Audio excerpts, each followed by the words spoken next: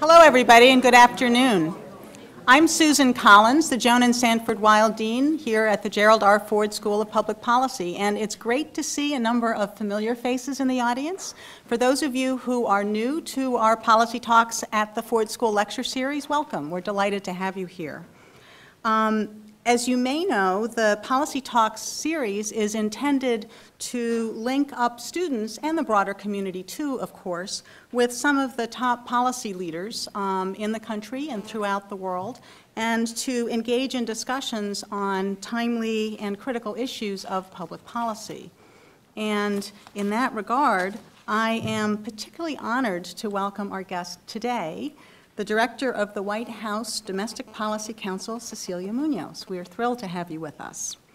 Um, not only one of our nation's top policy leaders, she is an alumna and a friend of the University of Michigan, who was born right nearby in Detroit. And like many of us on this campus, Cecilia is a first-generation American. And I should have mentioned, we're delighted to have some of her family joining us here today. Welcome, a special welcome to you as well. Well, while she was a student here pursuing a degree in English and Latin American studies, um, she tutored Hispanic inmates at the nearby Jackson State Prison, and that was a, an early step on what has been a truly very impactful career, advocating for immigration and civil rights, both in the trenches and at the highest levels of the nonprofit sector and of government. Um, and much of her career was spent working at the National Council of La Raza, which, if you don't know, is a very prominent nonprofit group that supports millions of Hispanic Americans throughout the United States. For many years, she headed La Raza's Office for Research, Advocacy, and Legislation.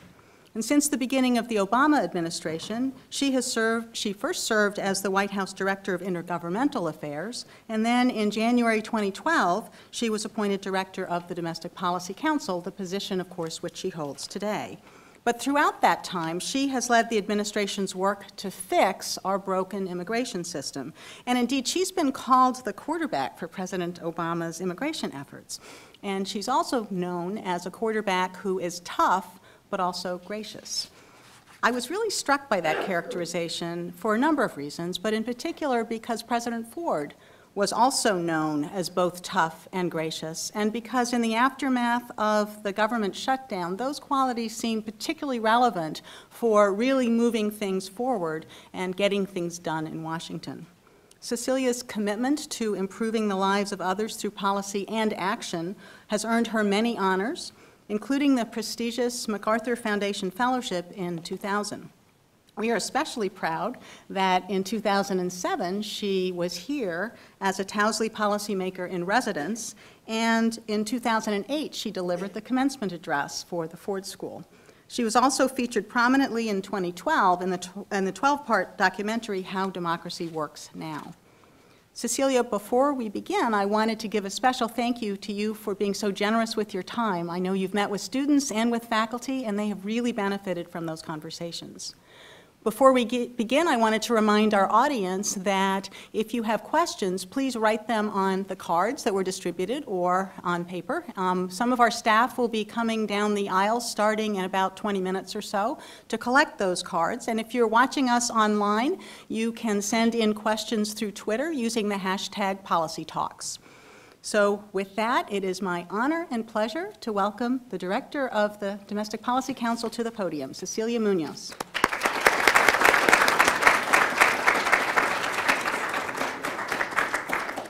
Thank you very much, Dean Collins. It was a very warm introduction, and I'm really so grateful to, uh, to be here. Um, this is uh, home a little bit for me. Um, as you heard, because I'm a grad, because I'm the daughter of and granddaughter of Michigan grads, and most importantly, because come May I will be the mother of one, um, which is the most important part. Um, and so this is a, a, little bit like home for me. And as you heard, I was here at the Ford School in 2007 and was just so impressed by what you do here and so excited by the training that goes on for uh, graduate students as well as undergraduate students in public policy and having uh, shifted from uh, working at an NGO to um, now working in government, I have a deeper appreciation for um, what it takes and how um, the skill levels that we need among people who serve in government. And um, this is an incredibly important training ground, and uh, I'm proud of it as a, as a Michigan grad, um, but I'm very, very excited and honored to be here. So thank you so much for having me back.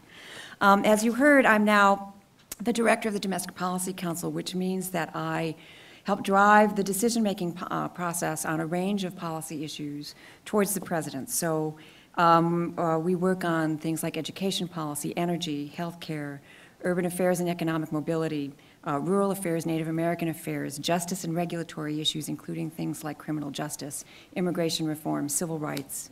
Um, there's a, a, whole array of things that the Domestic Policy Council team works on, and I have the privilege of working with the President's Cabinet on those issues. And our goal is to really um, may obviously make good policy, drive uh, the decisions that the President needs to make, and make sure that we are hitting our marks in implementing them all across the administration. So any of those issues is fair game if you want to ask about them.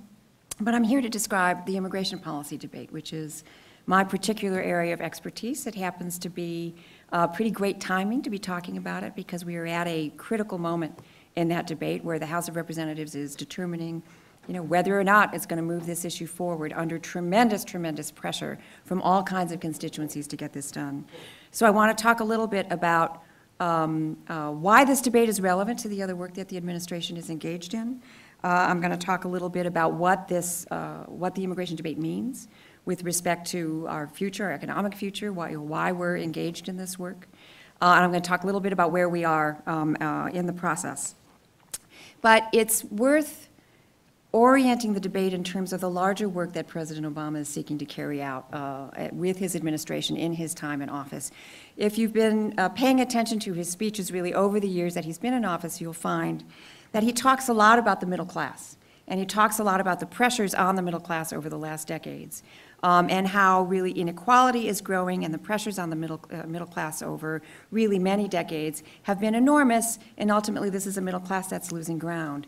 And if there is any one theme that cuts across all of the work that we do across the administration, that's it. That, this, that the goal here really should be driving the middle class forward because this is what has been the engine of our economic growth. It is part of, it has been what makes this country strong. It's been what makes this country what it is. And that is at risk. And I should say um, that I take that very seriously as a member of the president's team. I take that very seriously, you know, as the daughter of an immigrant family. That's my dad sitting right there. Hi, Papa. He's an, he, my parents are immigrants from Bolivia. My dad is a Michigan grad. Um, and the American dream was real for my parents when they came to Detroit in 1950. And that's the reason that I can be standing here, right? They had a roof over our heads. They were able to educate their children, their daughters, as well as their sons. That's my sister right there, another Michigan grad. Um, and my dad is living a comfortable retirement. All of these things, which are products of the American dream. That was, this was real for my parents. And I walk in to that building where I work every day understanding that my job and our job, our collective job, is to make sure that that continues to be true and that we make it true for everybody else. And I say that knowing that we are living in a time when that is at risk, and that is at the heart of what this president is fighting for. Um, so, everything that we're working on, every piece of the, the body of work that the Domestic Policy Council, we call it DPC, is engaged in, is connected to that. So this notion of growing the middle class and making sure we create ladders of opportunity for folks who are still struggling to, uh, to get to the middle class is central to what we do. The work that we started doing really during the transition before the president even assumed office in constructing the Recovery Act, you will remember that we were in an economic freefall at the time. The economy was shedding 700,000 jobs a month. Um, all of that work to help us get back to the place where we have since then created more than 7 million jobs. The economy is growing again. The housing market is growing again. All of that has been, again, focused on making sure that we rebuild a strong middle class. Our work on energy policy, which is both about production, it's about trade, it's about uh, building a clean energy economy, um, and, and about manufacturing. All of that has been focused both on our economic future because of both the threat of climate change, but also the need to make sure that we are producing energy in a smart way, and that we are, as the president likes to say, inventing the best stuff, building the best stuff, and making the best stuff available to the rest of, to the rest of the world. Um, That's at the heart of our, of the President's energy policy agenda. It's the heart of the work that we're doing on manufacturing. It's at the heart of the work that we're doing on education. This administration has put forward an array of reforms in the K through 12 educational system. We are pressing forward on a very ambitious proposal to try to make pre-K available for every four-year-old in the United States. And here at the University of Michigan in 2012, the president announced his first steps in what is a very ambitious agenda that he expanded on last August in New York on making, making sure that college remains affordable and that we in fact drive the cost of a college education down to make sure an education, a higher education, remains accessible to families in the middle class. This is essential to our economic future. It's essential to producing a workforce which is going to be up to the economic challenges of the 21st century. Um, That and much in the news today, the work that we're doing to implement the Affordable Care Act, which is about driving down the costs of healthcare and making healthcare available for the first time to 30 million people who lack it. All of these share this thread. They're about strengthening the middle class, they're about strengthening our, our- our economy, and about posi- positioning ourselves for this economic future that we are catapulting into. Immigration reform is squarely part of that agenda. Um, uh, So I'm going to describe a little bit what's in the immigration proposal, um, and I'm going to describe a little bit why it's connected to the, to this, uh, to this reform agenda. Um, And I say this at a time knowing that when I was here in 2007, I gave a lecture in this very room on this very subject, and was pretty much talking about the same piece of legislation. And in fact, as Professor uh, Lin reminded me, I was here in 2001, uh, working with classes that were working on, um, on immigration-related issues, and for that matter, we were working on this same bill back then. So I am hopeful, and I knock on wood as I say this, that that 2007 speech will have found us at the halfway mark because this is the year that we get this done. So we'll see uh, if that turns out to be true. But the immigration reform legislation that we're talking about, that Congress is sort of halfway through with dealing with, really consists of four policy buckets. Now, the president spelled out three of those buckets in remarks that he gave in January um, in, in Nevada uh, to outline his principles for the immigration reform debate. I'm going to describe those three, and then there's a fourth that's been added by the Congress. The first is enforcement, right? It's uh, important to a successful immigration policy debate that we uh, you know, that we end it with a situation where we know that the border is secure, that we know that we're uh, conducting enforcement activities appropriately in the interior, that we do this wisely and well, and that we do it in a way that, that marshals our resources effectively, right? No immigration debate is complete without a debate on enforcement. Uh, That is one piece that we have to make sure that we do well. So that's one sort of policy bucket, if you will. Second major policy bucket has to do with the 11 million people who are living and working in the United States without immigration papers, the undocumented population. We know that it's roughly 11 million people. They are integrated into our workforce and into our communities. This is not some isolated group that lives somewhere else, but is very much all across the country with family members who are American citizens very often, but very much integrated into communities and to the workforce. Um, and the policy proposal is to create a mechanism for these folks to get on the right side of the law. When that means in the proposal, which ultimately worked its way through the Senate, allows people to come forward, get a provisional status, which allows them to stay and work in the United States. And then they get to the back of the line behind everybody who's been waiting under our legal immigration system, under the theory that it's not fair to put them in line in front of folks who've been trying to follow, uh, follow the law. So they get to the back of the line, and then there's a whole series of obligations and commitments. They have to pay taxes, they have to learn English, there's a penalty that needs to be paid. And then when we've cleared out the legal immigration backlog, which would take about 10 years under the Senate bill, those folks get to the front of the line, they can become legal permanent residents, which gets them a green card, and like other green card holders, they would be eligible for citizenship after a period of a number of years. So it's not a quick process, it asks a lot of people, but ultimately, it's a fair process. And, it's a, and as the president said, it is important that it be clear from the outset that citizenship is available at the end of this road. And that's ultimately what the president put forward. It's what the Senate passed in June. So the second policy bucket has to do with this pathway to earned citizenship for the undocumented. The third policy bucket is the legal immigration system, right? Also broken, also badly backlogged, also not necessarily helping us meet either our, com- our commitments to family members of people who are, who are here in the United States or to businesses and to our economy.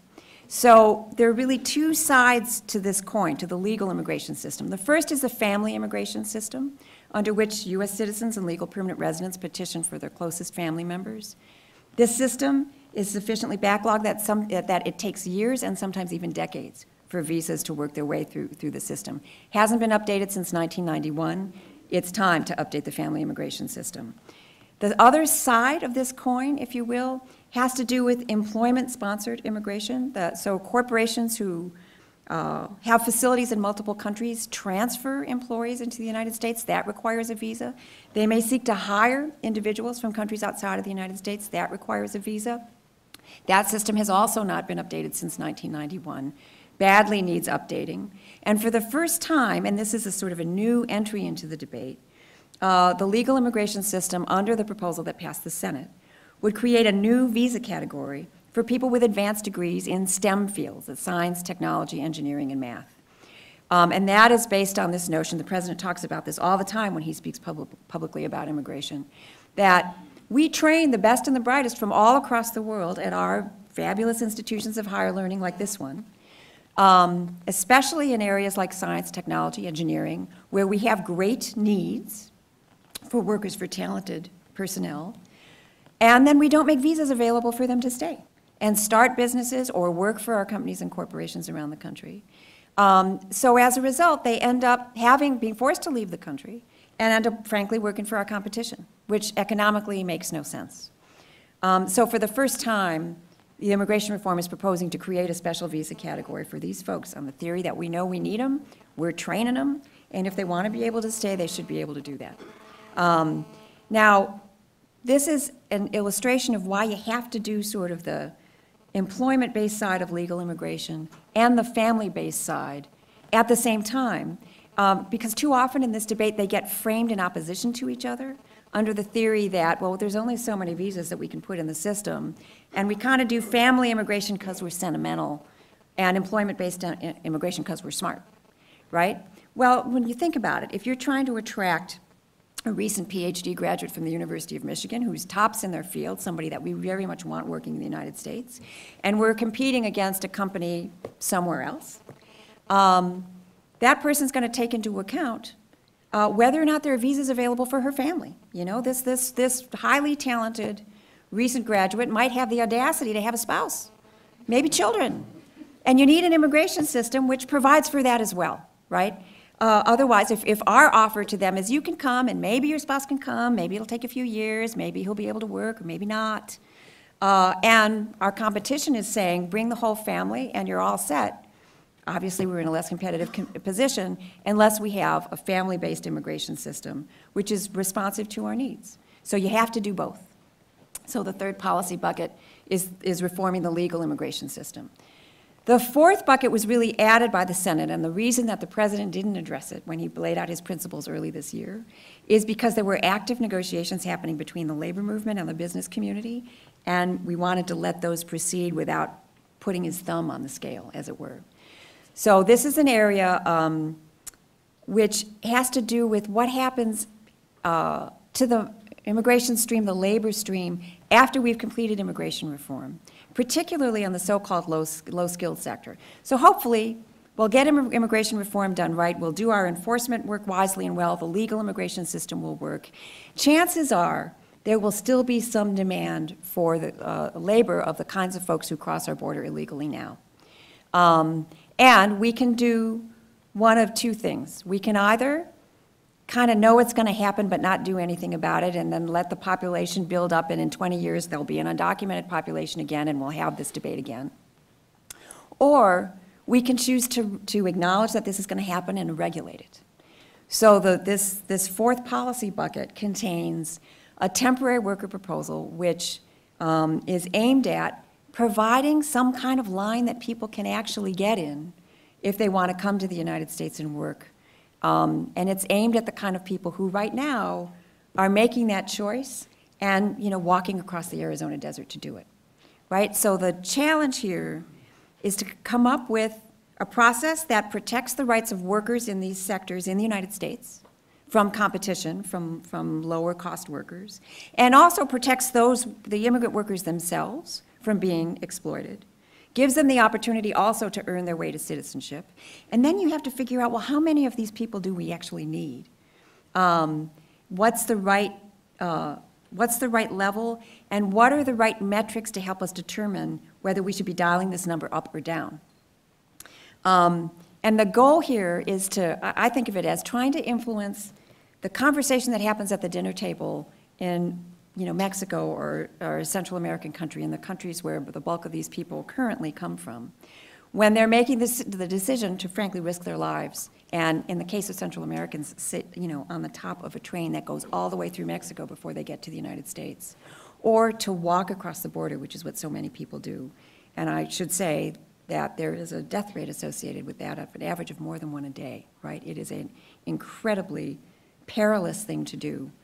Um, What, the, one of the goals of a temporary worker program is to create a system that is sufficient to influence that dinner table conversation when you're trying to, when people, when families are making the wrenching decision to, to, to cross the border. Um, and their decision right now is don't do it or do it and risk your life. That's, you know, option one and option two.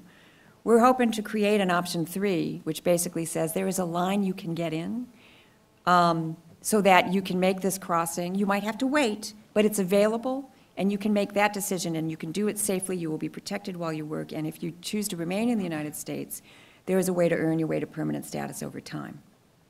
That has been a very, very hard-fought provision of law. There is a, a, a prototype, a pilot version, a new version in the Senate bill. And one of the big questions is, you know, what will happen to that program? There is a separate temporary worker program for agriculture as well that was negotiated by the farm workers unions and the growers.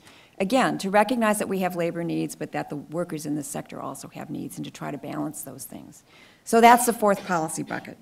So this is what the debate is about, and it is pretty clear that none of these individual pieces is going to move by itself.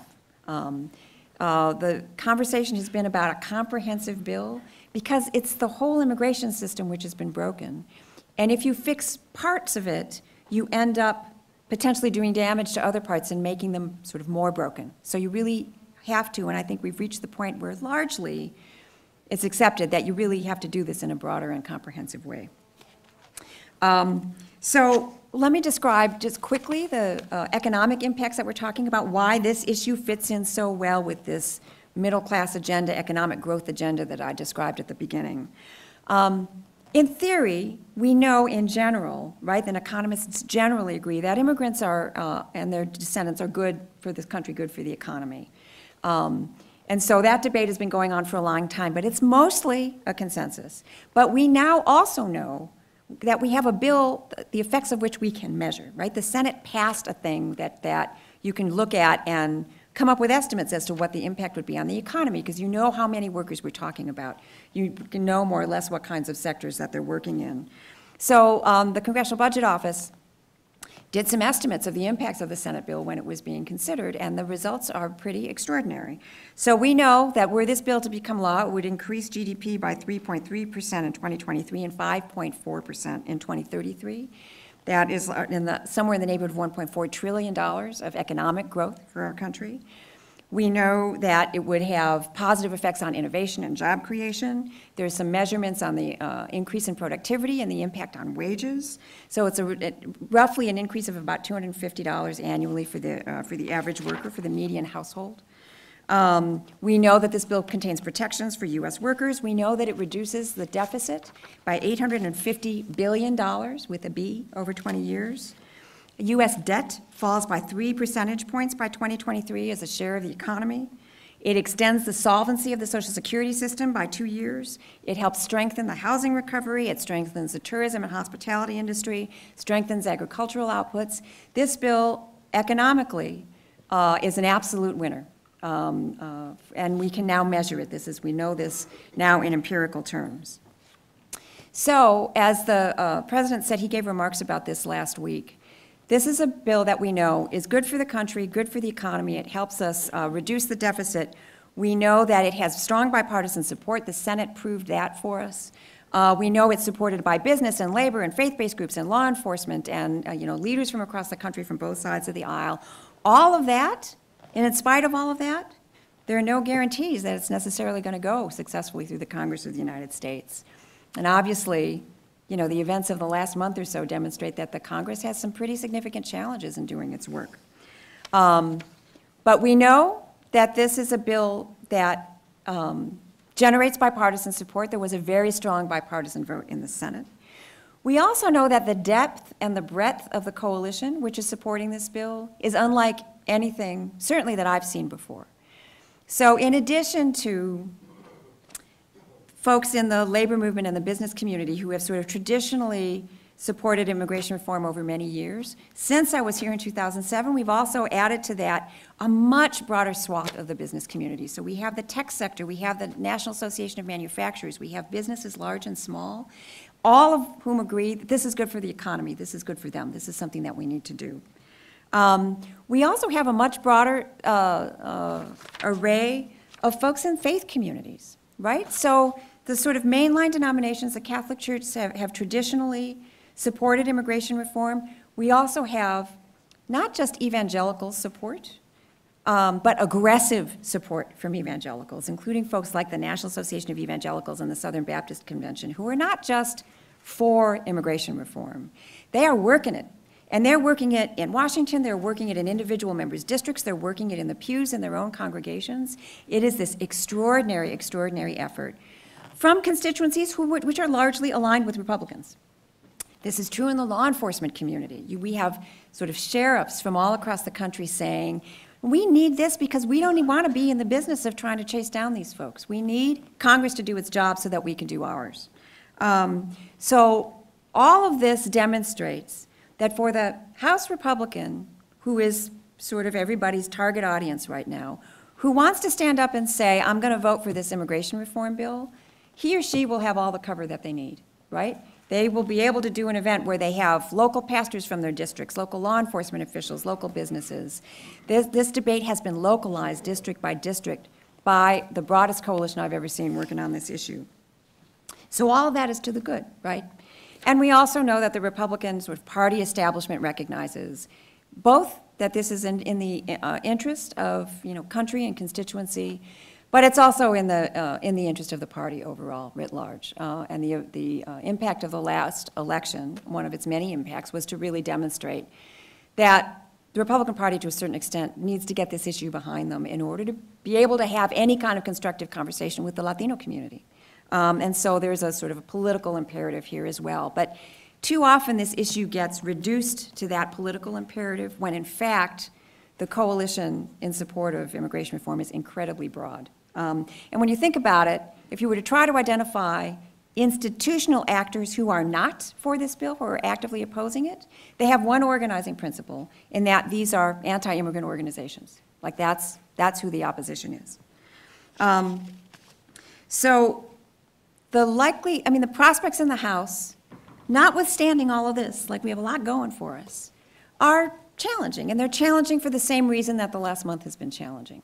In that there is a, uh, a block of House members who are never, or who are unlikely ever to be for this, despite the fact that they have constituents who are, um, who recognize that um, the challenge here for folks who are trying to get an immigration bill done is to get legislation through the House so that it can be reconciled with a Senate bill and a conference committee.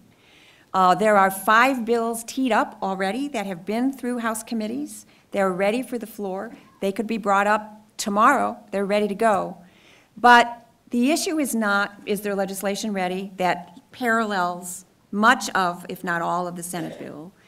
And the issue is not even, does the House have the votes to pass an immigration reform? Because it is abundantly clear that the votes are there for something that more or less resembles the Senate bill. There are something in the neighborhood of 60 House members who have publicly said that they support some kind of legalization, some kind of path to citizenship, or something related to the DREAM Act.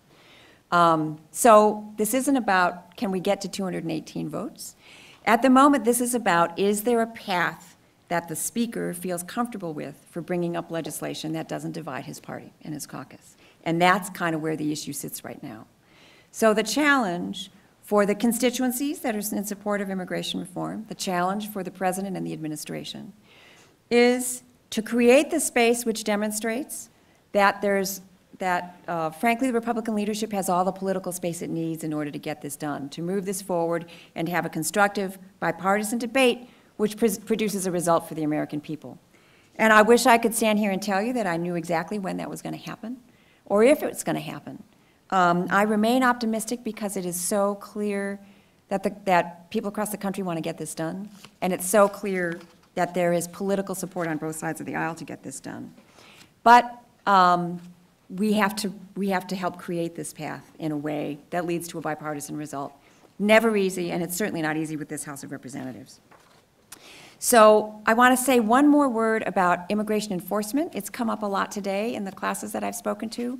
It's a big issue, and it's a, one of the most challenging issues that we deal with, um, especially for, for some of the institutional actors that are trying to, trying to move a bill forward. This administration has a vigorous enforcement record. Um, we remove about 400,000 people a year. This is what, essentially what Congress asks of us. They appropriate the funds to remove people every year. Each year, that level of funding goes up, and the number of people that, that, uh, that we remove goes up along with it. Uh, the thing that this administration has done has been to establish a set of priorities for how that's going to happen. For the old way of doing this was there were 11 million people uh, who, under the law, are removable, and DHS went after as many of them as they could find, and that was the enforcement strategy. This administration has put forward a, a, series of priorities based on sound law enforcement principles, which basically says our priority for removal will be people convicted of serious crimes, as well as people who are recent arrivals or people who were previously deported and reentered, which under immigration law is a felony. If you're deported and you come back in, that's a felony, a serious crime. Um, so while the number, the aggregate number of removals is in fact high, and that would be true under any administration, um, the composition of who is in that pool of removals has changed a lot under this administration, and that the proportion of folks who are convicted of serious crimes or who meet the other criteria is up dramatically, and the proportion, proportion of folks who we remove who do not is down. Having said that, there are 11 million undocumented immigrants living and working in the United States. Um, and there is no enforcement regime or set of priorities that does not result in heartbreaking things happening, like parents being separated from their children, spouses being separated from each other. That is a symptom, one of many symptoms, of what's broken about our immigration system.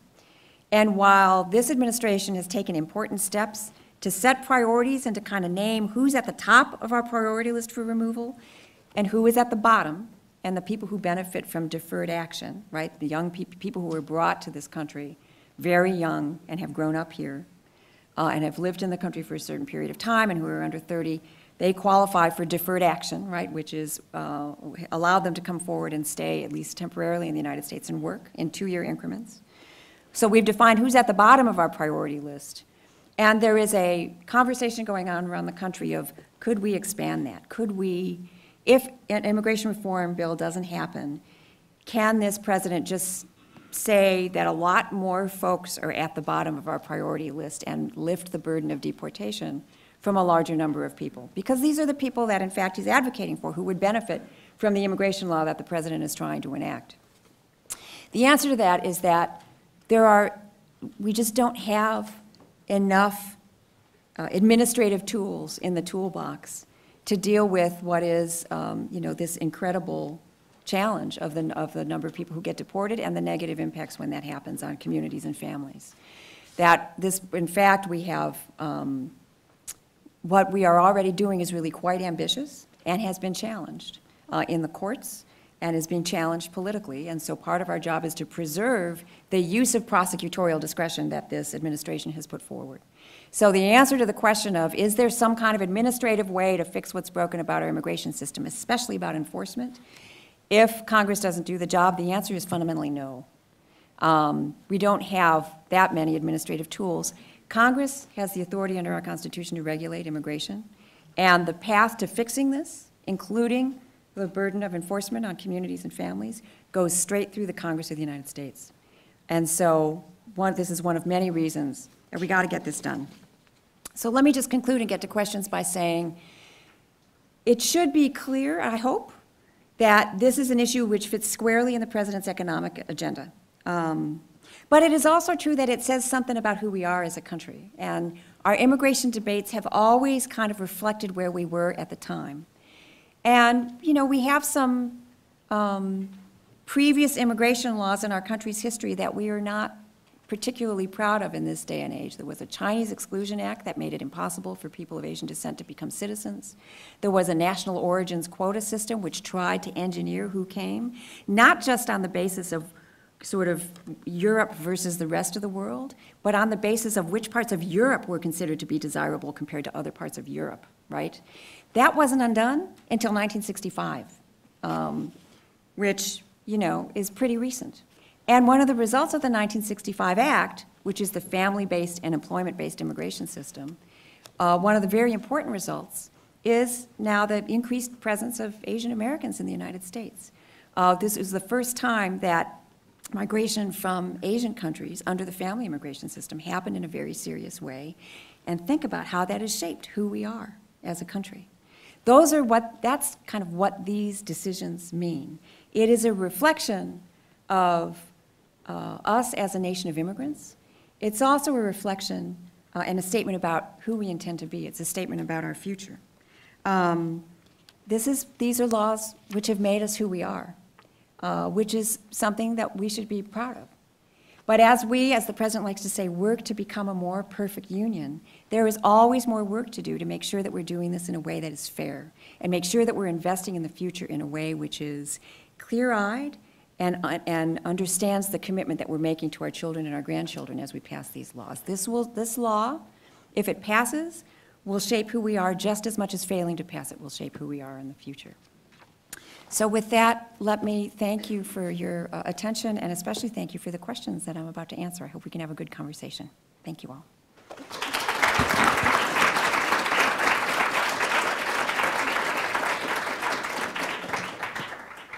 All right, what have you got? Hi, my name is Evelyn Gutman, and I'm currently a BA in the Ford School. I'm studying immigration policy, specifically with the Mexico-U.S. border. The first question is actually from Twitter, and it is, is the opposition to immigration reform purely political, or are there legitimate reasons to oppose? So, um, you know, the president said something about this in his remarks last week, and what he said was, if there is a good reason to keep this bill from moving forward, I haven't heard it yet. So in general, there concerns get raised about what's the impact of this on the American workforce. That is a legitimate question. I also think it's a question that's been answered empirically, and that, that the, the impacts are positive in terms of job creation, in terms of wages, in terms of economic growth and innovation. So those are legitimate questions, and even the discomfort about, all right, what is this saying about who we're going to be? That's a legitimate question. We're a nation of immigrants. We have never been without that question. But in terms of the organized opposition, these are folks who, these, those are institutions which are organized around the principle that immigrants are bad for the United States and they don't want more of them. And that's fundamentally who the opposition is. Good afternoon. Good afternoon. My name is Brian McMillan, I'm a first-year student, uh, graduate student here at the Ford School. Um, our next question is, what do you expect from neighboring countries besides border protection to make this immigration reform work? So the immigration bill itself doesn't, um, doesn't have direct implications for our neighboring countries in that it doesn't sort of compel anything. But the work of the Department of Homeland Security very much uh, focuses on us as a hemisphere. Um, and ideally, the work that we do on economic development should be tied to our immigration policy. Now, no, it isn't tied legislatively, but it is tied thematically in terms of what the State Department does, what the Department of Homeland Security does in advancing both our security interests as well as our economic interests. And uh, among the most important um, factors kind of driving the pressure for immigration, or the lack of it, is economic development in Mexico, right? So Mexico has been transforming in the last decades. Um, and net migration from Mexico, according to all kinds of sort of external sources, right now is at zero, right? So some people come, but others also go back. And so the net is actually um, at zero or actually below it in terms of migration from Mexico. The place where there is some pressure right now in the United States is actually from Central America, from people who are coming from further um, and, uh, and coming to our, uh, to our southern border. Uh, because of economic conditions as well as because of violence.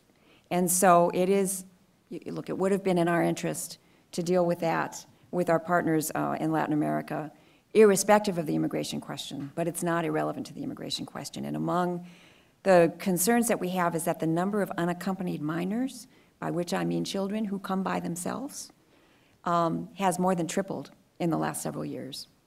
And those children are not Mexican, they're Central American. Think, think of what that journey means and what it might take for a parent to, uh, to have their child undertake such a journey. Um, So we do have some work to do to deal with the conditions that inspire that kind of uh, incredible risk. The next question we have is how can the high number of deportations under Obama administration be justified as a pro-immigrant administration?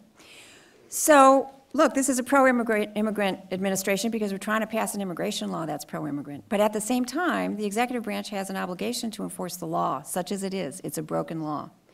Um, That's our responsibility. Congress both has made 11 million people removable, and frankly gives the executive branch a lot of resources to remove these folks. And so the reason that the number creeps up every year, that corresponds to the resources that creep up every year by congressional appropriations for us to remove large numbers of folks. So the composition of who gets removed has changed, but the aggregate number would be, would be what it is under any administration which was doing a credible job of, in- uh, of meeting its obligations under the law. Um, It is true that families get separated, and no matter how perfectly this administration were to implement our enforcement priorities, that would be true. Um, And I, it- there is enormous frustration in immigrant communities around the country because it's a terrible thing for parents to be separated from their children and for people to be torn out of communities. That's why we need to pass a law. And the, the challenge is to stay focused on passing a law rather than on assuming that this is something that the president can do, as some have said, with the stroke of a pen, because it isn't. You spoke in the previous uh, answer about enforcement, and uh, our next question speaks to that. Uh, What does enforcement look like, and what role does states play in enforcement? So do you mean under the immigration bill, do you think, or under? Just generally, what does enforcement look like under the immigration bill and of So it has multiple pieces, um, the, but the, the quickest way to break them down is what happens at the border and what happens in the interior of the United States. Border enforcement is important for all kinds of reasons, for security reasons, It's not just people who cross illegally into the United States, it's also arms, it's also drugs. For the first time, we are inspecting and interdicting flows of, um, of arms and drugs from north going south. That is new under this administration. Um, So there a whole, there's a lot of uh, security considerations around border enforcement um, that have to do with people, but which also have to do with other things. Um, The challenge is to do that work effectively, humanely, in a way which demonstrates also good stewardship of our resources, right? Like, what's going to be the most cost- cost-effective way to create an effective deterrent at the border, not just with respect to people, but with respect to arms, with respect to drugs, with respect to violence. Um, uh, And this administration has advanced that ball considerably. And frankly, Congress, the, the Senate, um, uh, put together an extremely ambitious border enforcement proposal, which would take what we've got in terms of personnel at the border, which is at its highest point ever, at about 20,000 guards, and double it, um, which is a considerable expenditure of resources. Um, So that's what the Senate had to say about enforcement, and we'll see what the House has to say about enforcement at the border. In the interior, this is another really challenging area.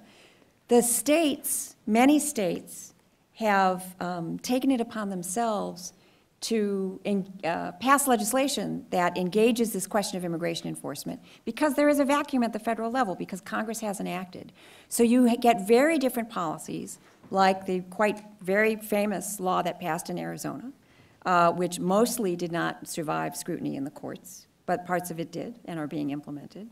And contrast that to a series of laws that Governor Brown just signed in California, also a border state, which is much more focused on helping immigrants integrate into the life of the state.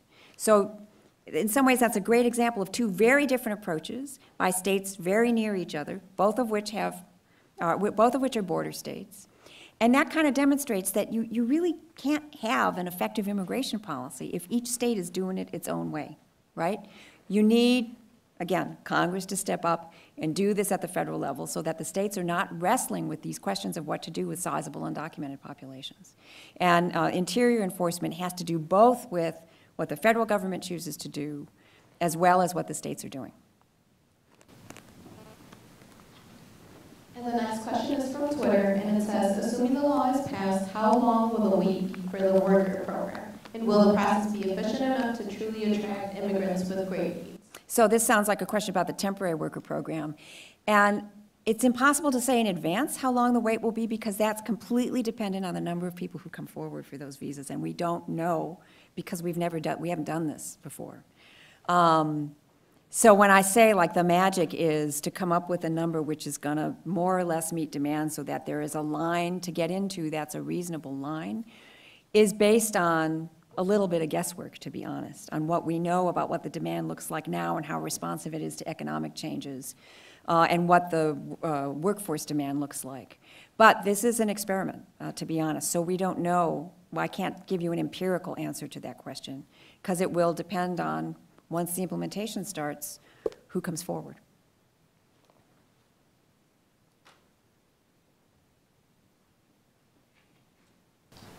We've had a lot of questions uh, in regards to the formula for who's allowed into the country and, and on this path to citizenship. Mhm. How do we ensure a new bill doesn't create immigration disparities, and how is the Biden administration thinking about it?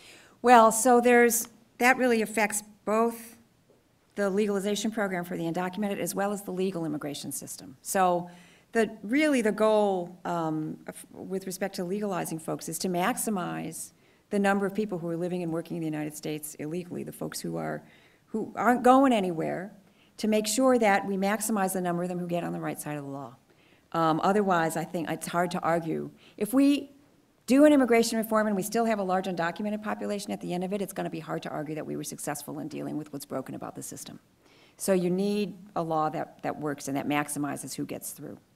Um, On the legal immigration side, what the Senate chose to do, I mentioned, create a visa category for STEM fields, uh, expand to a certain degree the number of visas that employers can use to petition for specific workers from abroad, and also um, revise and update the family immigration system um, by doing two things. One is by facilitating the number of visas and the, the, the structure under which visas are granted for, say, the spouses of legal permanent residents, the, the sons and daughters of U.S. citizens, so that those folks can get in more swiftly. And they eliminated a category, and this is the category which is the most severely backlogged, and that's the category for brothers and sisters of U.S. citizens. Um, That backlog is millions long, and for some countries, for like Mexico and the Philippines, it takes 25 to 30 years to get a visa. And so the theory of the case there is that uh, that's kind of stopped being a real visa category because the line is so long that people get in it without knowing whether or not they'd ever avail themselves of a visa um, because they will have lived a big chunk of their lives by the time it becomes available. Um, So uh, this is the trade-off that the Senate made. Um, And we'll see. So, so far, it's held up in the congressional process. And we'll see what happens if the House uh, takes this up. Going along the lines that a policy is not perfect, who would you say are some of the losers of the immigration reform or some of the trade-offs like you just mentioned? Well, so if you, the way the Senate constructed this particular change is if you are already waiting in line for a visa that your, your U.S. citizen sibling petitioned for you, you're in that backlog, and there are provisions for visas for people in that backlog, and we estimate it would take about 10 years for all those folks to get through. But after that, there would not be, you would have to um, uh, find, get a visa through some other means. There wouldn't be a specific category for siblings of U.S. citizens. This is an issue that particularly the Asian Pacific Islander community cares about a lot and was not happy about. Um, So that's, I think, one example. Um, You know, the um, border enforcement provisions that the Senate did are, I describe them as really ambitious. They took what we're doing and they doubled it. And what we're doing is sort of the highest level, the most boots on the ground at the border ever in our history. So it's not clear that doubling it, there, there was no like empirical basis to say, well, we need this many, we need twice as many. Um, and so there are folks in border communities who are very concerned about what the implications of this are uh, for their communities. Um, and uh, so That's been also part of the uh, immigration conversation. But at some level, all of this involves trade-offs. Um, The enforcement provisions, the legalization provisions, I mean, not everybody is excited about having 10 or 11 million people get on a path to citizenship, and they wonder about what that means in political terms, in social terms. If all of these people are required, as they will be under this proposal, to learn English, there are going to be infrastructure challenges to make sure that that can happen so that everybody qualifies. Um, The House is, some members of the House are reportedly considering maybe a mechanism to help legalize people, but legalize them without a path to citizenship, right? So that they could stay and work, but never become U.S. citizens. What are the implications for that, for them and for the rest of us? I mean, I think these are some of the trade-offs that are in the air now. The president has made it very clear that it should be clear from the outset that citizenship is available, that he is not interested in creating um, a, a class of permanent Americans who can never access citizenship. Um, But this is in the ether in this debate, and we may, we may well be grappling with this question on the floor of the House if the House brings it up. Another discussion um, around this immigration debate is the role of private prisons and just the overall Yeah. rise in incarceration uh, in our country, and the cost of of incarcerating um, these people while they're waiting for um, various decisions to come through. Yeah. Uh, What additional steps do you intend to take to address some of these deficits in private prisons uh, and just overall detention conditions? Yeah, so this is another area that folks don't, uh, aren't aware that this is a place where Congress is also very prescriptive. So there's this little dance that goes on every year. Uh, Every year, Congress, so Congress right now requires detention of 34,000 people in immigration detention facilities. That's a lot of people.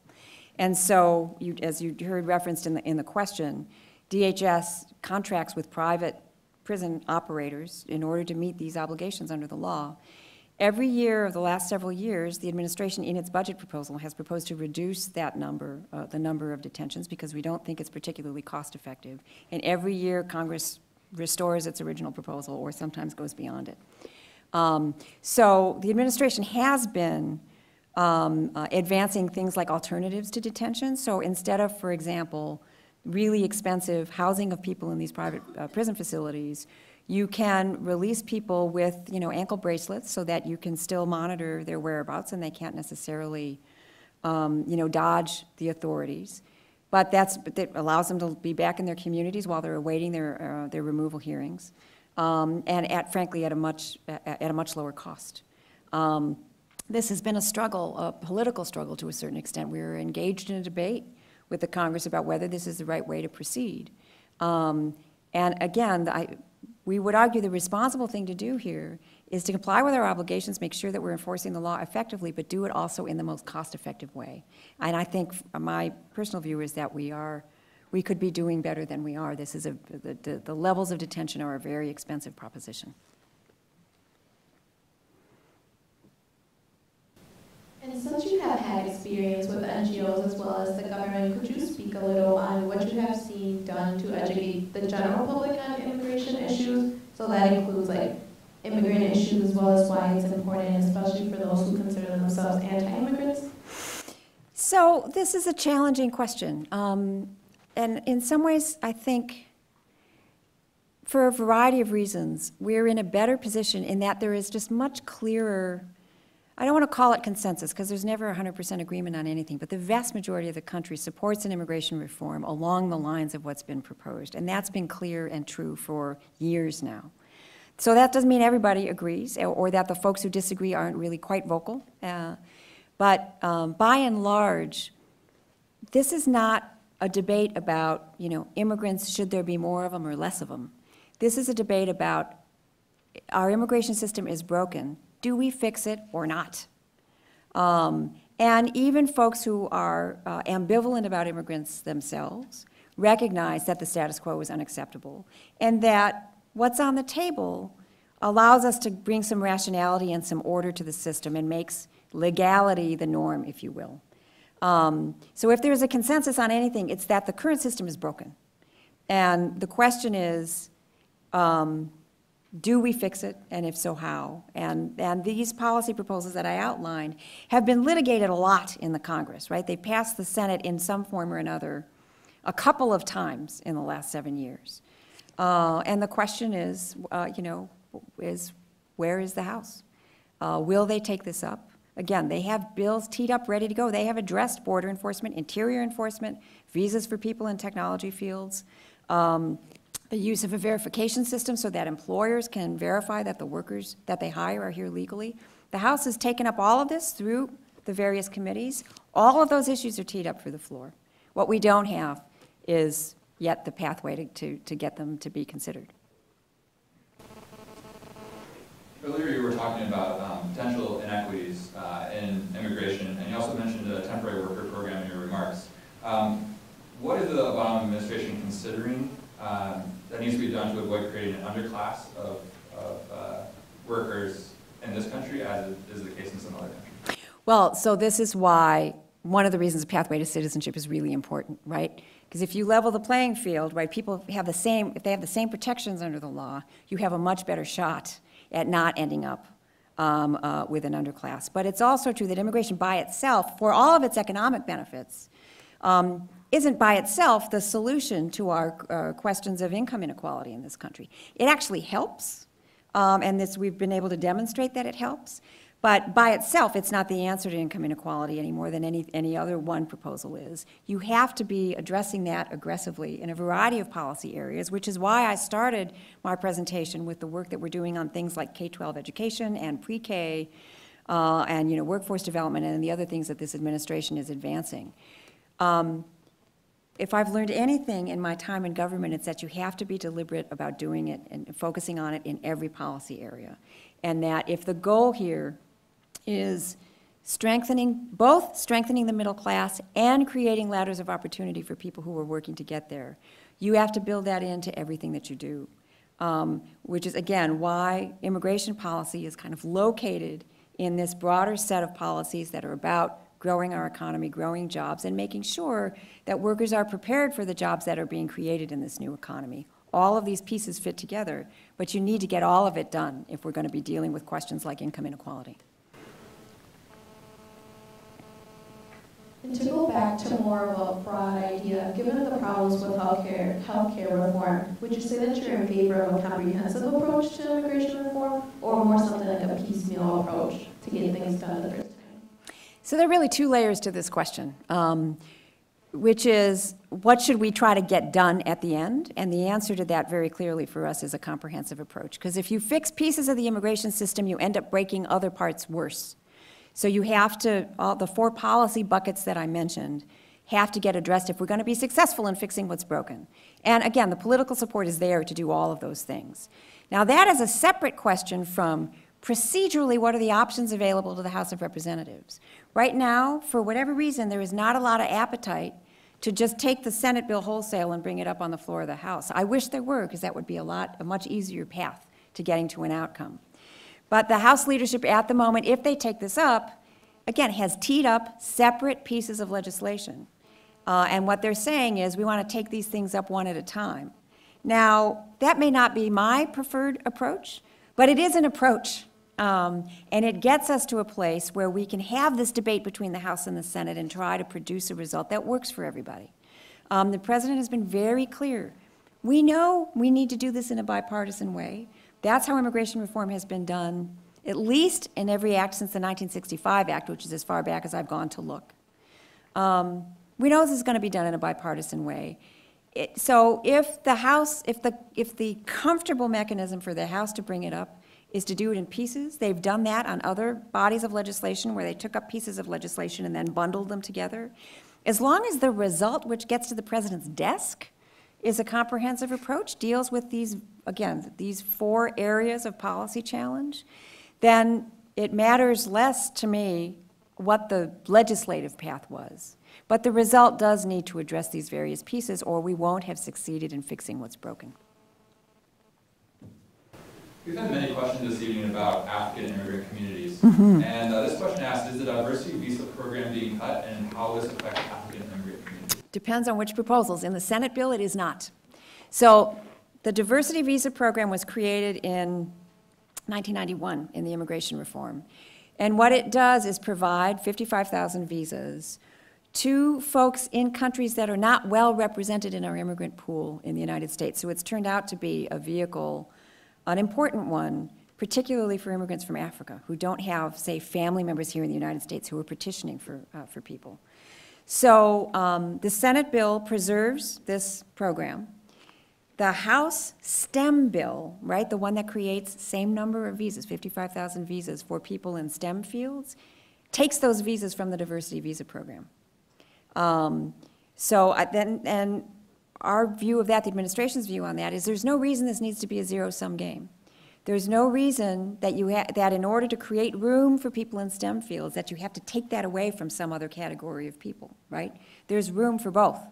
Congress gets to set the level of immigration. There's no, nothing that says it has to be here, and therefore, you know, if you're eh, creating an increase here, it's got to come out of somebody else's hide. So the Senate bill does that. It preserves the diversity visa lottery as well as expanding visa opportunities for people in STEM fields. There's no reason that the end result can't do the same thing. And looking at the successes of DACA, why would you say that the administration has not expanded like that idea to the larger undocumented community? So, this, so DACA is deferred action for childhood arrivals, right? This is this population which we have determined, the administration has determined is at the bottom of our priority list for removals. It refers to people who were brought to the United States at- as children, who've lived here pretty continuously, who are under the age of 30, who have not run afoul of the law in other ways. Right? This is an exercise of enforcement authority, which allows people to come forward for two-year increments and get work authorization, which is, can be renewed every two years. Um, a a very, very important development, which DHS put forward because there were just way too many dreamers ending up in the immigration enforcement pipeline. And despite all of the moves that DHS had taken to try to shape the deportation pipeline to be focused on our higher priorities, um, there, each of those steps wasn't successful enough, and so DHS proposed and ultimately moved forward on deferred action. So the question is, why, if we did that for Dreamers, why can't we do it for more people? Uh, and the answer to that is that you can't say that the whole, the whole removable population is at the bottom of the priority list. And the, the, the law which allows us to use prosecutorial discretion is about using our enforcement authority to pick and choose what our priorities are and therefore what are not our priorities. And what people are hoping that the president and DHS will do is basically say that a big, big, big chunk of the undocumented population is at the bottom of our priority list. For legitimate reasons. Again, these are people with children in the United States, people who I think we all recognize are not going anywhere unless they get removed by the government. But that, it goes further in terms of what the administration, in terms of the discretion that the administration has to use enforcement authority to fix this problem. If we're gonna, it, it is clearly an issue. The way to fix it is to get a bill through. Member of the audience is wondering if you could explain the reasoning behind the English language requirement and how it might affect the immigrant workforce. So this is sort of an axiom in immigration law and policy, really going back for a very long time. This, there was a requirement, last time we legalized people after the 1986 law, there was an English language requirement, right? There was concern in the Congress uh, at making sure that these folks would integrate into American life, and English is essential for doing that. Um, So that has become kind of a standard in immigration policy, which makes sense. We want folks to be successful. Um, It's important, and immigrants ultimately want to integrate. Language acquisition in immigrant communities is actually very high, but it's important to make sure that it happens, and important to make sure that we provide the facilities to make it happen. The challenge with English language acquisition is not that people don't want to do it, it's that there actually aren't enough classes to meet demand. Um, So that is a challenge that we would face one way or another with immigrant communities, whether or not we do a legalization program. But it is also true that if we create the legalization architecture that I described from the Senate bill, we're going to have a lot of people, um, you know, needing English classes, and we're going to need to be able to supply them. That's going to require, I think, a lot of creativity and support uh, in the NGO world, because that's going to be really a pretty significant demand. And to change the subject just a little, how would you say that your work now in the White House is different from what you did in your public policy advocacy years? And then how would you say that that's effective, effective as well as influential now with the immigration reform? So, I mean, in some ways, the work is the same. I mean, I'm an immigration policy expert, and that's why the president asked me to come, and that's, you know, that's a big piece of what I do. Working in government is also very different in that the, you know, the wheels of government turn kind of slowly, as I have learned. Um, and the, um, there are very important and fairly elaborate processes that you need to implement in order to get to a good decision. So to give you an example from um, the college cost decision that the president made, the announcement that he made, both last year and then again the second one that he made in August. Uh, we were very engaged in the policymaking process, which resulted in what the president announced. That required some very deliberate work sitting down with the Department of Education, the Department of Treasury, other departments of the federal government to make sure that we understood what our administrative tools are and figured out what the, what the best use of those tools is to actually have the impact that we want, which is to drive the cost of college down without sacrificing quality. And so that re- involves a lot of very intensive work across agencies of the federal government, um, decision-making process that, that filters the difficult decisions up the chain so that they ultimately get on the desk of the cabinet members, who are the members of the Domestic Policy Council, and then ultimately to the president himself. Um, So I didn't frankly know a whole lot about those processes, but I worked outside of government, and I've learned an awful lot about them now that I'm managing this process. Um, So that's been, I think, part of my just education as somebody who has spent my life trying to advance public policy for our common good. Um, I think the other thing that I've learned, and I shared this with some of the students that I met with earlier, is that when you're an advocate, you have the luxury of seeing the world just from the vantage point of the issue that you're trying to advance. And when you work in government, you have that vantage point, but you also have everybody else's vantage point, right? You're responsible for the whole, for all of the issues which are the president's priorities, and for being aware of where the whole country is on all of these things. So the, the strategy, which might make sense, and the actions that might make sense for the president, if immigration were the only issue he were working on, might not be the same as the strategy that makes sense, given the range of things that are on the president's plate.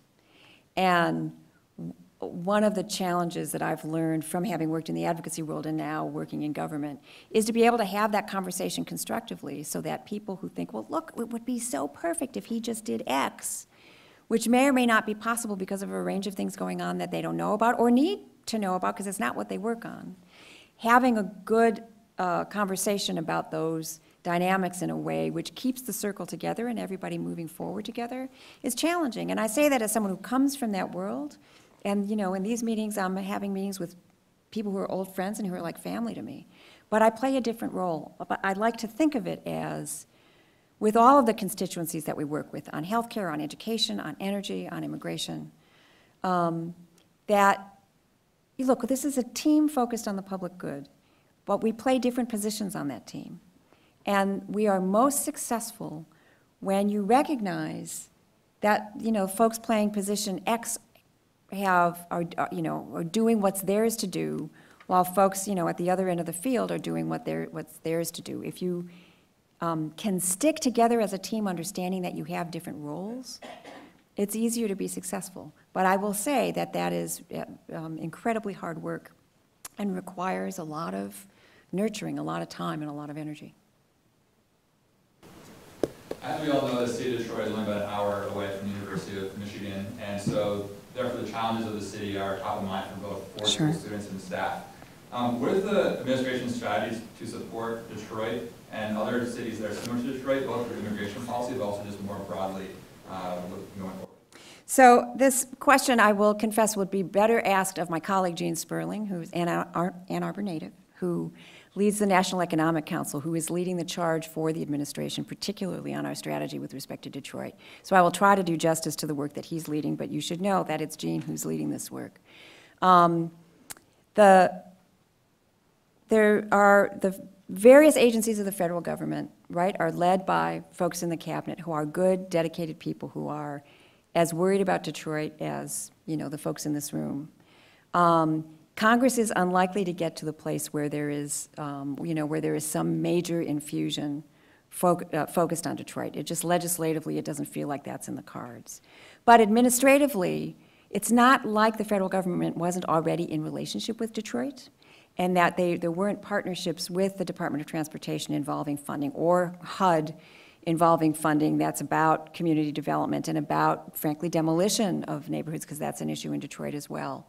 Um, So what Gene has been doing has been linking the federal agencies with leadership from around Detroit. I had the privilege of being part of a meeting that he convened that included leaders of industry, leaders from labor, from labor unions, um, uh, city leaders who were, who were all focused on the same thing, which is making sure, again, that people are working together and rowing in the same direction with the support and help of the federal government.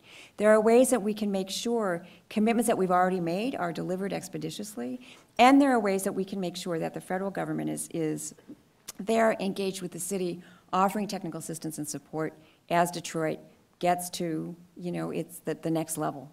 Um, In fact, we have a, a program that's been in place, which was developed by the Domestic Policy Council under my predecessor, Melody Barnes, called the Strong Cities, Strong Communities Program, where staff from the federal government are actually embedded on the teams of mayors in six, uh, six cities around the country. Detroit is one of them.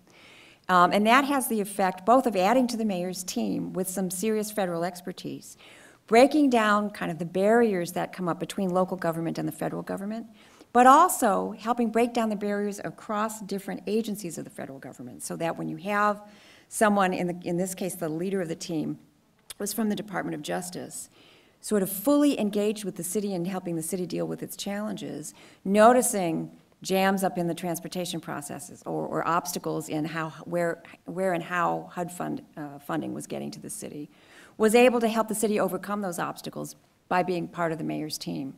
So that's what I mean when I say part of the challenge here is making sure that we're kind of in the, in the weeds with our sleeves rolled up, providing technical expertise in addition to the, um, to, you know, to the funding support that's available to the city under the programs that we have. The next question has to do a little with your trajectory, just your experiences, as many of us in this room definitely look up to you. Would you say you have any advice to policy students hoping to launch a career in the area of immigration policy? Yeah. Uh, and I have to say, in it, just in addition to being with all of you, one of the funnest parts of my day was uh, having a couple meetings with, uh, with students, um, which is, uh, I don't know if it was inspiring to the students, but it was certainly inspiring to me. Um, it does me, it does my heart no end of good to see, um, you know, young people interested in going into public service, because I, having worked in government now for almost five years, I've just have tremendous appreciation for what it takes and the skills that people bring to it and the just sheer brilliance of the people that I work with, um, which is really, uh, you would be inspired to know the, the folks who are working on your behalf, and uh, certainly in Washington, and certainly on my team. Um, that I think the, the challenge for a student, I mean, at least the way I understood the challenge for myself, and I didn't go to policy school, sorry, um, but I think it's a really good thing to do. Um, I was sure, I started my career being absolutely certain that I was destined for a career at an NGO doing direct service, right? A- An agency that had clients coming in that I was going to be helping. And I started my career doing that and discovered that that actually wasn't the work that I was best at. And the people who were good at it, I have enormous respect for. And I wasn't really one of them. Um, but in the course of um, the work that I was doing, I ended up running a legalization program for the Archdiocese of Chicago. Last time we legalized people, that's how old I am. Um, there were a lot of advocacy needs associated with that work because we were legalizing people before the government had promulgated regulations, and um, there was a there was a great need to give voice to what our clients were experiencing in the interest of affecting the policies that were ultimately going to affect their lives. And there was a a series of, of advocacy coalitions developing around the country and advocacy institutions in Washington working on this very thing. And I discovered from doing that work that the thing which got me up in the morning was being an advocate. And uh, I learned that that's who I am, and that's where my voice was strongest. Uh, and that's what I've been doing ever since. Um, so I think the key is figuring out kind of where you belong in policymaking. And there I, I can name people who were equally brilliant as community organizers and as litigators and as like up to their eyebrows, green eye shade wonks at the Office of Management and Budget. And we need great people in all of those places. And the key is to figure out which of those places you belong in. Uh, in a way that will, you know, get you leaping out of bed in the morning because you can't wait to get at it because it matters in people's lives. And I have learned so deeply how much, um, you know, policymaking can be a force for good in this country um, and help us meet our deepest aspiration for ourselves and for each other and for the whole.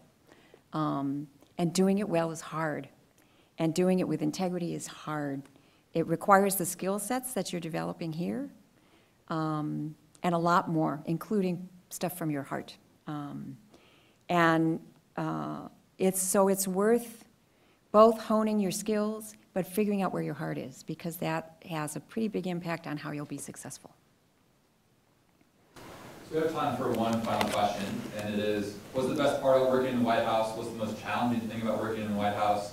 And uh, we were wondering if you share any funny anecdotes about working with President Obama. Um, oh, that's a dangerous question. Um, so I'll, I'll, um, I'll give you an anecdote. It's not a funny anecdote about the president, sorry.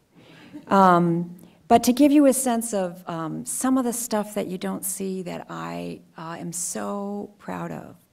Um, one of, when I did my litany of issues that I work on, one of them was Native American affairs, about which I came in knowing nothing, zero, never worked on it before.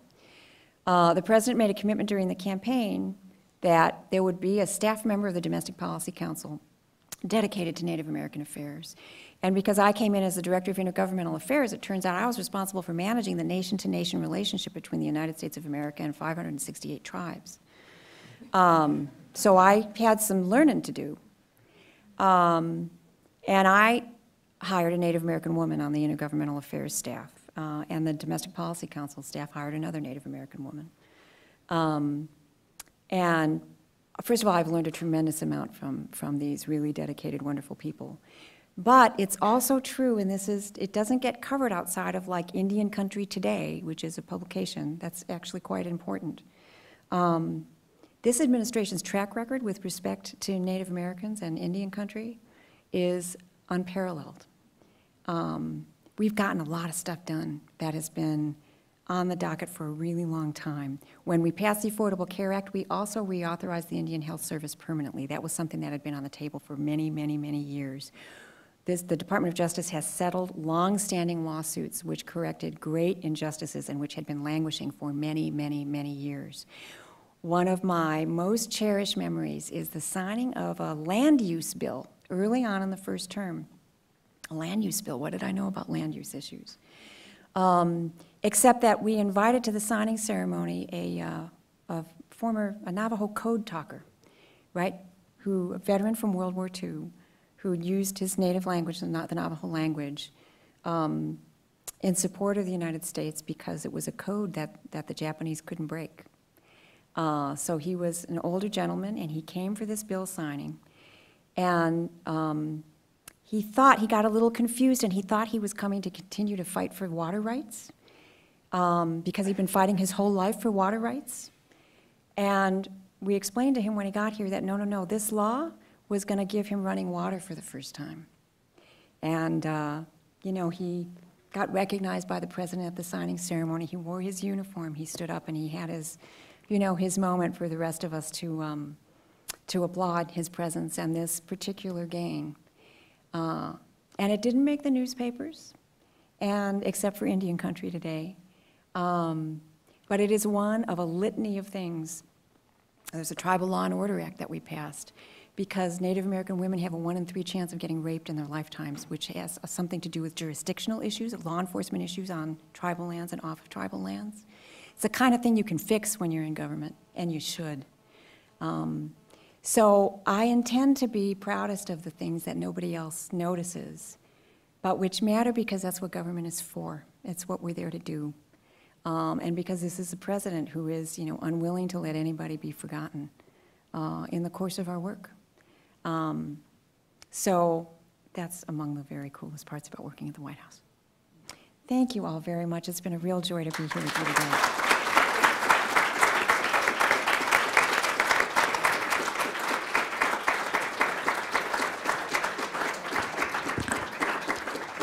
Thank you so much, Cecilia. We really appreciate your time and your thoughtful comments. I'd also like to thank our audience. Thank you very much for joining us this afternoon. And for all of your questions. We really had quite a lot of question time and, uh, and um, had quite a wide conversation. I'd like to invite you to join us to continue the conversation. We have a reception out in our Great Hall, and we hope to see you at other policy talks at the Ford School. Please join me in just a final thank you to the Director of the Domestic Policy Council, Cecilia Munoz. Thank you again.